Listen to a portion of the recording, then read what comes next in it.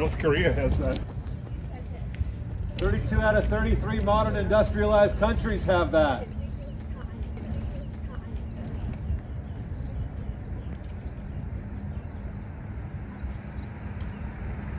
How are you going to pay for it? We're going to be like North Korea. We'll have to borrow the money from China. Where are you going to find the money?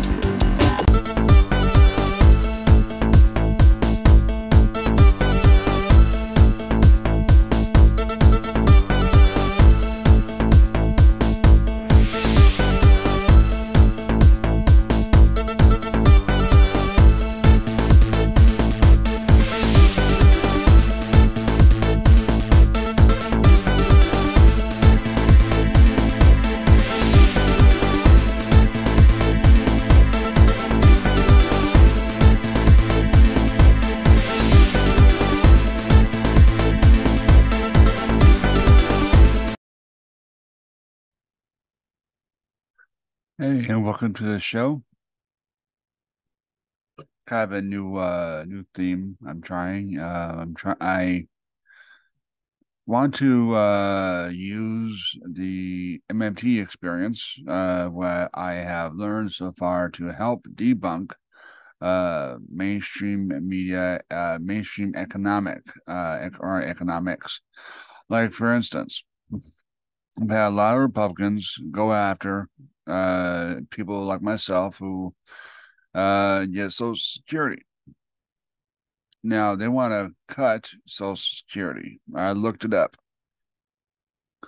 Only thing that they can cut is administration. Uh, you know, cut people's jobs. Um, set the age limit past ninety. So I think right now is at like sixty-five to seventy. Uh, that's late retirement. I believe you still re- early retirement, like 55 or so. Anyway, so the point being is, uh, it's uh, what I've learned is either way at both sides of the fence or both sides of the political aisle, both tend to do a lot of fear mongering, a lot of fear mongering.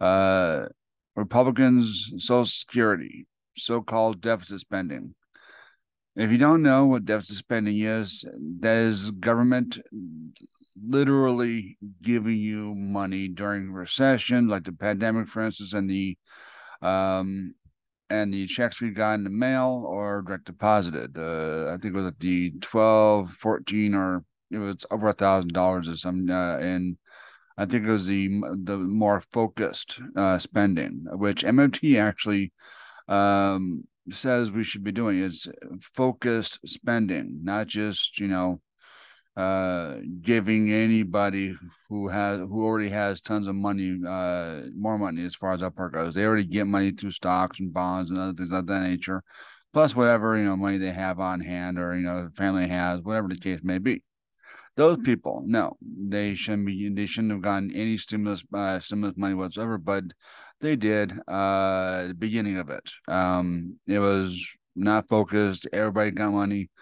Um, even some MMTers who didn't uh, was weren't uh, hurting for uh, for uh, jobs at the time.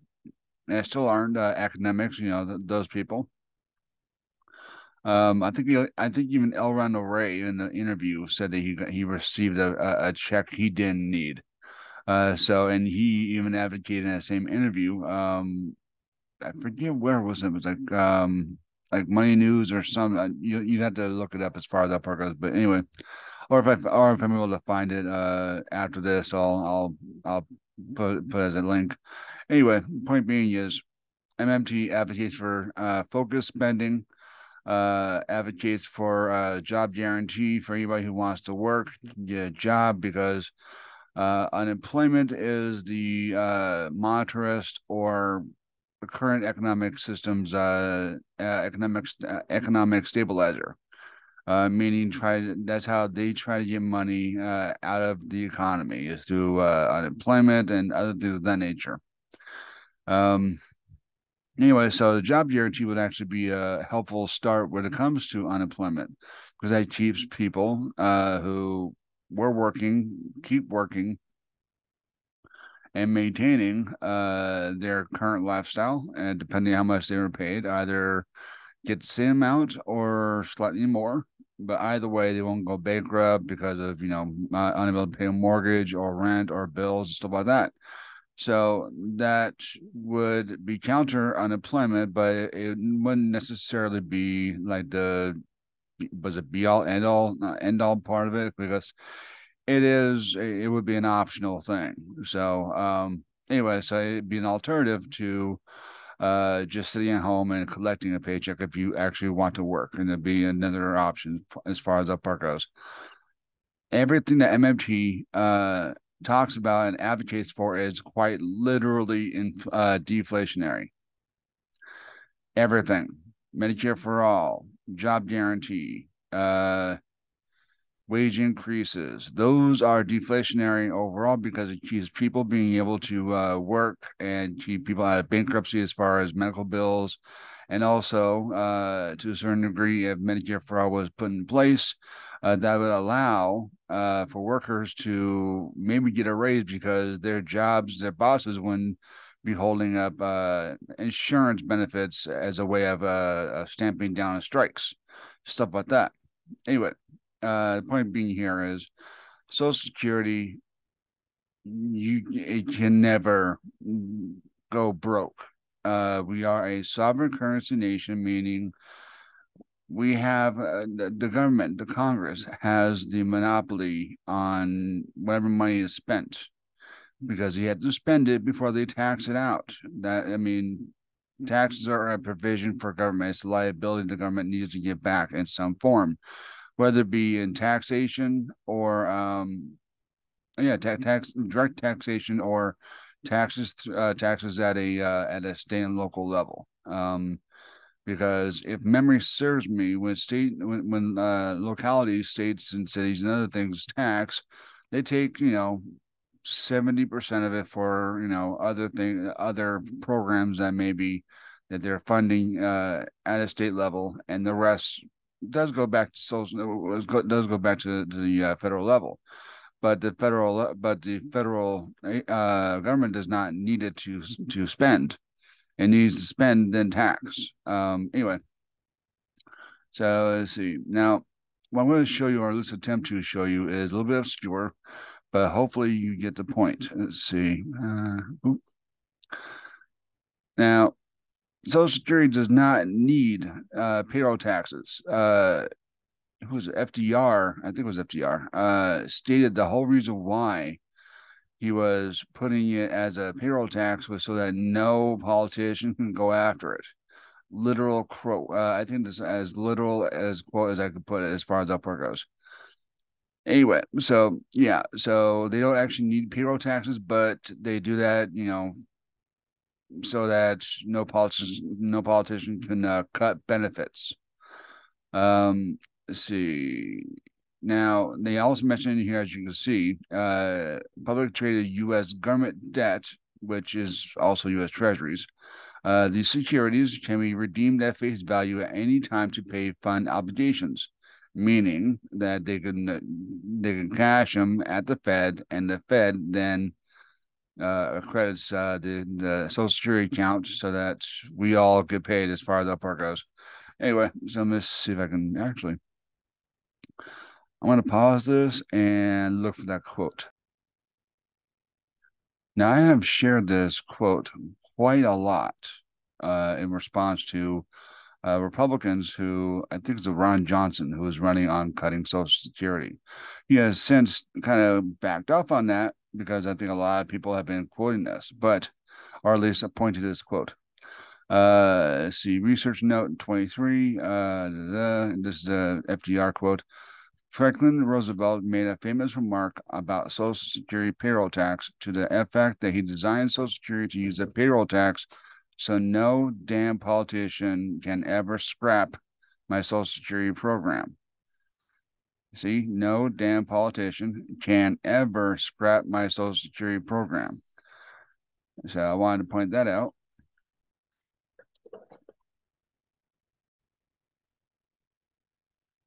Now, a moment ago, I was talking about uh, treasury bonds. Treasury bonds, they are savings accounts at the Fed. In fact, this is the area which uh, they are they are issued and they are uh, redeemed. Oh, I did that. there we go. Anyway, so let's see. Now, as another scare tactic, uh, the Republicans tend to say that we are in 30, uh, like $31 trillion in debt. Uh, well, $31 trillion would mean that there are 31, $31 trillion of U.S. currency in treasuries. Uh, let's see. Yeah, let's see. Total issue uh, so far this year is it looks like um, eight. Now, that's rounded up in the millions, I believe. So let's see, either that's eight billion, I think it's eight billion six hundred twenty million two hundred ninety. Now, how much have we actually uh, redeemed? Now, government account series, which is literally government issued uh, uh, treasuries that the federal government, the treasury, uh, buys. Um, it looks like it's at the seven trillion dollar mark right now. Now I used to have, I used to uh, say this all the time. Uh, it got to a point where I believe it was 131 trillion that was redeemed uh, since the beginning of the year, I believe, or at least since the beginning of the um, fiscal, uh, the the fiscal quarter, I guess. Now let's see. I don't know if I can find that, but uh, this is withdrawals here, and, and as you can see, uh, one trillion one hundred thirty-three million has uh, been withdrawn. And also, if you remember right, I don't know if you remember this or not, but uh, for the longest time, the Republicans were fear mongering about China. China, we owe in China uh, money, this borrowing from China and other places, and other countries like that. Uh, we can't borrow our own money. Uh, now the interest rates that they that people keep talking about uh, is is money that is paid in interest on U.S. Treasuries. It's kind of like if you had a uh, a savings account at a bank, uh, you would get like um you know, an interest payment dividend or something to that effect, like every six months. Uh, in regular accounts is like maybe one cent or something. Here, it's more than that, obviously, because it's the Federal Reserve and only banks and uh, and and uh, U.S. Uh, Treasuries has treasuries, you know, uh, savings accounts, uh, and also uh, foreign governments uh, have that, uh, and they get paid uh, interest rates as well. Anyways, as far as China goes, um, China had like just a few months ago actually had uh, redeemed uh, like close to seven billion or something. It was it was billions. I'll just say that. I can't remember the exact number right now, but it was in it was in the billions, and literally nothing in the uh, in the mainstream news about that. Even though it's been a talking point this whole time for the past say twenty years. It's been literally Obama talked about it. Uh, Mitt Romney talked about it. Um, Paul Ryan talked about it. Uh, Biden, I think, even talked about it one time. Um, so yeah, is all this is politics right now. Unfortunately, is not about policies or the or the good of the voters. It's about fear mongering. But both sides do it. Um, so, I mean, uh, see Warnock in Georgia, uh, for the, the rest basically that were uh, going to the runoffs and primaries uh, a couple years ago. Um, ran on two thousand dollar uh, checks you know, for while we were in while we were in the uh, pandemic. Nothing happened to that. Uh, I don't even think he fought for it, uh, and now they're up for reelection. So think about that when when all, it was all said and done. Also think about the fact that Biden uh, has been bragging about something that the Republicans have been wanting him to do in the first place, and that's cutting the deficit. And in case you need a reminder, deficit is government spending that goes into our pockets. However, at the same time, uh, when people uh, talk about interest rates, interest rates, uh, it's literally like it, it it it makes borrowing more expensive. And through that makes buying certain you know buying things at the grocery store more expensive because businesses had to have uh credit in order to be able to buy more as far as goods for servicing. Um and so everything goes up because of that. Uh Interest rates do nothing about inflation. Inflation, on the, for the most part, is supply chain. We have seen that for the most part for the past few years. Uh, supply chain has has been going down uh, for the most part since the 70s. In fact, um, it it went down mostly in the late '90s after I think after uh, uh, Glass Steagall was uh, was repealed because that opened up uh, a lot of things that happened during that time. Uh, a lot around that same time, uh, a lot more of the supply chain went overseas. A lot of outsourcing went out. People started losing their jobs, stuff like that. So, MMT advocates for uh, full employment advocates for uh, manufacturing up up to about uh, at least 85% of the supply chain here uh, uh, at home. Uh, and also advocates for uh again Medicare for all. Medicare for all would be a step up as far as rising, uh as far as wages, because the bosses wouldn't have uh health insurance to be as a bait to stop strikes from happening in the first place. It wouldn't have control over that. Uh, in fact, it would probably uh, it would probably force them to actually up the uh, up the hourly uh, wage because they wouldn't have any other any other uh, reason for not to do it. Um, anyway, so that's so that's what I'm talking about as far as that part goes. Let me see if I can find that one actually. Uh, let's see where would that. Oh, where would that be at? Uh, nope no, no, no, no, no, no, no, no. Uh, no. No, maybe this is it. Yes.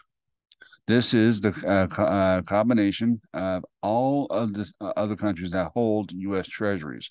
Japan still being number one, China being number two. Now, it was more than 971 billion, but oh well. Anyway, so let's see. United Kingdom holds treasury, so when we so when the Fed pays on interest, they're paying every single one of these countries money. They that interest is going to all of these countries, uh, actually helping those economies as well. Uh, so there's a good and a bad as far as interest payments go. Um, anyway, I wanted to show you that. And, and. Anyway, but yeah, I wanted to show you all that, and hopefully you understand a little bit more. Um, as always, subscribe to this channel. Also check out uh, the still doing textbook MMT, uh, reading from the textbook, uh, except I do it audio only and on patreon.com slash MMT. Um, but also you can check out Real Progressives. Real Progressives does uh, great, uh, radio uh, interview shows like uh, Cheese. They also have articles up, uh, homegrown articles basically. Uh, anybody and everybody who volunteers for Progressives in some ways uh, has articles up there. We also have outside authors.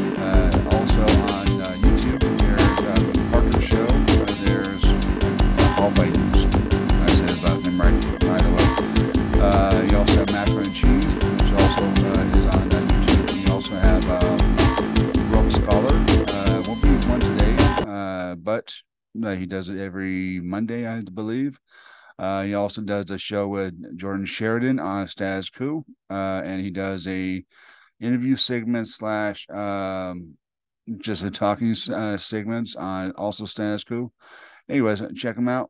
Either way, uh, I'd like to thank you for joining me on this first episode of Debunking Mainstream Economy, uh, Economist. Um, subscribe if you like, uh, but go to my Patreon. You can be a Patreon for as little as, as little as a dollar, um, apparently. So, yeah, join up, uh, support realprogressives.org, support MMT, learn MMT, or at least try to learn M- MMT, and everything uh, economic you hear from mainstream is not that's not the real shit.